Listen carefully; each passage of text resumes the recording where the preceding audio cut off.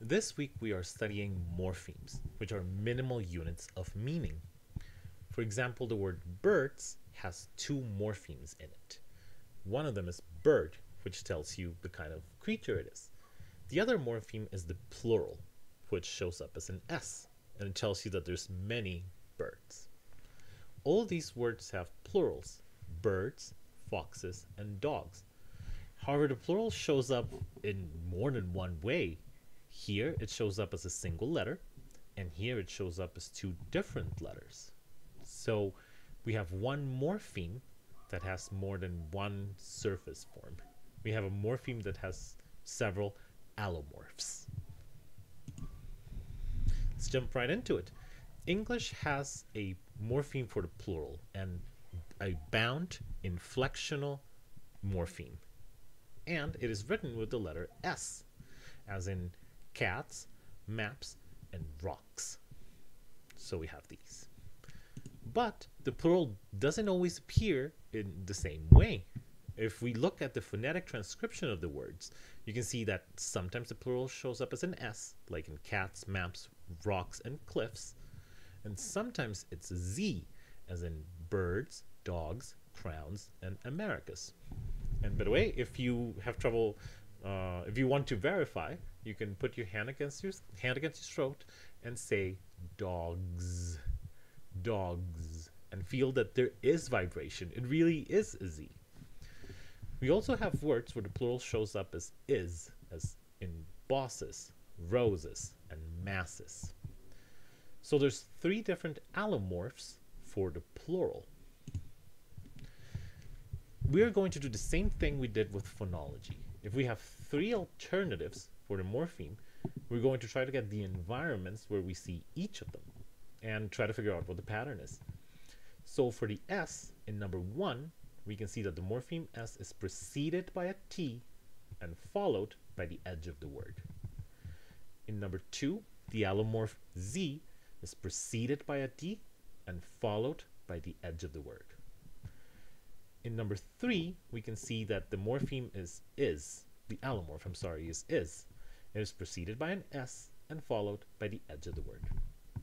So please go through all of the examples and try to get the environments for each of these allomorphs. Please pause the video. Welcome back. So you should have something like this. Uh, the S appears in examples 1, 4, 7, and 10, surrounded by consonants like P, K, and F, and always uh, with the edge of the word to its right. The Z allomorph appears next to D, G, N, and the schwa in America, and it is always followed by the edge of the word. Is is preceded by S, Z, and S, and always followed by the edge of the word. So, um, they look like they're in complementary distribution, like they're always followed by the same thing, but they're preceded by very different things. For example, is is always preceded by S and Z, and you cannot find either sound for the other allomorphs. Likewise, the S is always preceded by T, P, K, F, and you cannot find these preceding the other allomorphs. Finally, Z is preceded by sounds like D, G, N, and schwa, which are not found preceding the other ones. So these are in complementary distribution. What do we do? So probably the, the part on the right is not the one that's conditioning the appearance of an allomorph because they all have the same environment to the right. However, they have very different environments to the left. Please try to figure out what the pattern is that uh, joins these sounds together. Is there a feature that all of these sounds share? Is there a feature that these sounds share, or maybe more than one feature? Are there characteristics that these sounds share? Go ahead and give it a shot. Please pause the video.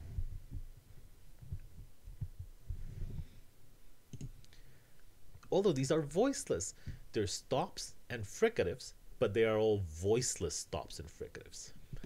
Likewise, with these, there's really only two of them. They're the two alveolar fricatives, uh, voiceless and voiced.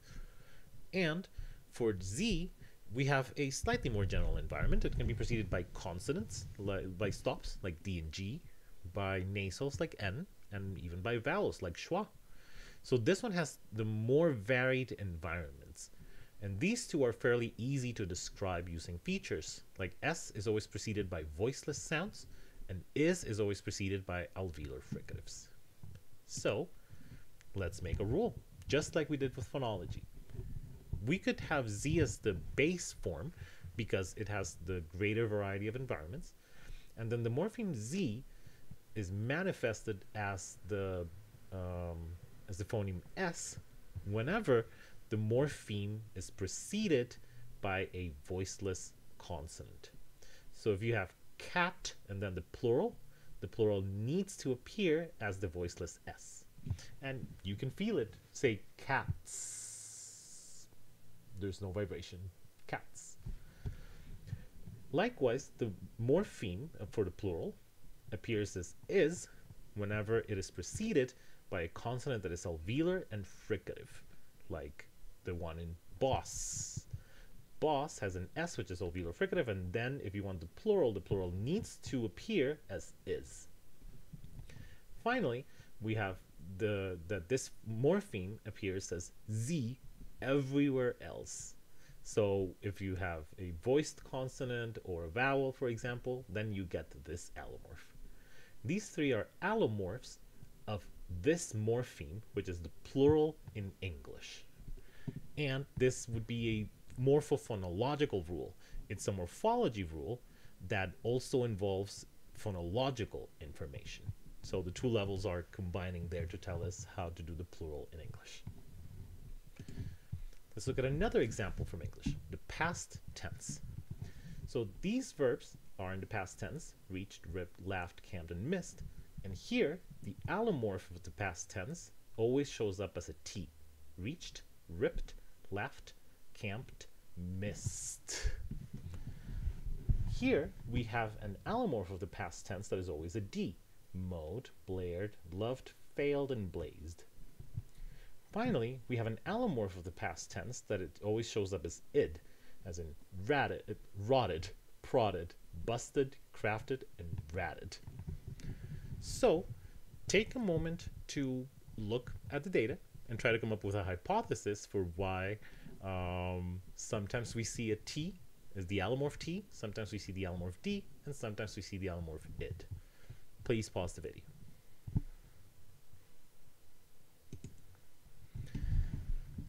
I was one ahead. So the past tense does have these three allomorphs, T, D, and id.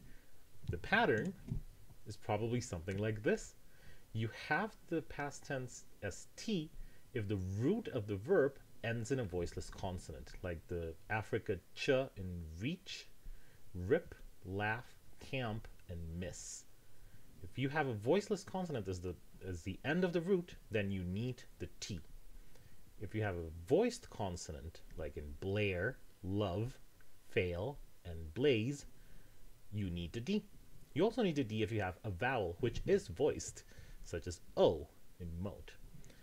Finally, if your root ends in a T or a D, you need id, as in rotted. The rule would be something like this. Uh, we could select the D as the more general rule because it, it has more varied environments. It comes next to vowels and consonants.